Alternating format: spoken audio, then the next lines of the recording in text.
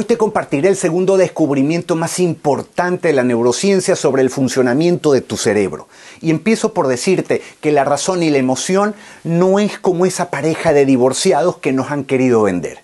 No es que la emoción esté en un hemisferio y la razón en otro.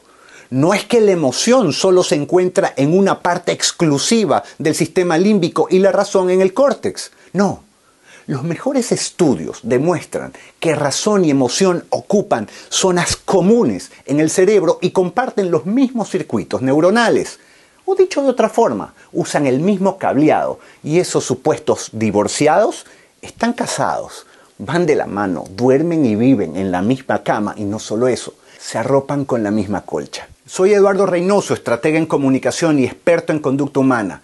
Y déjame decirte que durante mucho tiempo se pensó que el pensamiento era racional y que la emoción era irracional.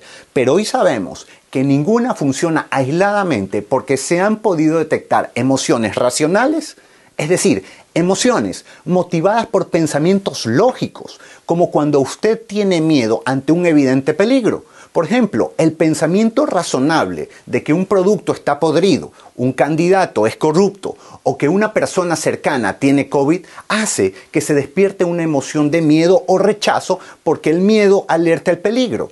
Pero el análisis de que era peligroso no nació de la irracionalidad, sino de un razonamiento con bases lógicas. Por otro lado, también sabemos que hay pensamientos irracionales como aquel pensamiento que sin ningún motivo lo impulsa a que desenfrenadamente usted navegue en sus redes sociales pensando que pronto encontrará algo interesante que lo va a hacer divertir. Es un pensamiento, sí, pero no está fundamentado en algo racional, o como aquella persona que sigue emprendiendo el mismo negocio a pesar de que su idea nunca ha funcionado o inclusive habiendo estado muchas veces a punto de la quiebra.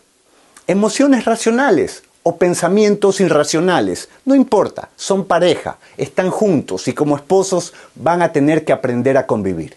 La gran pregunta es, cómo desde tus marcas asocias ideas irracionalmente significativas para la gente, cómo desde la comunicación se construyen asociaciones mentales poderosas como Coca-Cola es felicidad o hinos de Mavesa o Mavesa es hino en Ecuador.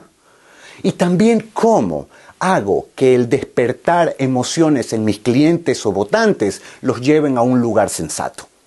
Conductas irresistibles. Ay, pero en las próximas entregas seguiré compartiendo descubrimientos. Mientras tanto recuerda que si conoces la mente, entiendes a la gente.